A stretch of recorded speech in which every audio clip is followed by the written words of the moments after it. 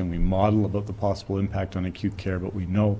the, the value that divisions of family practice, family practice doctors bring to them, and we want to be supportive of that, them in every way that we can.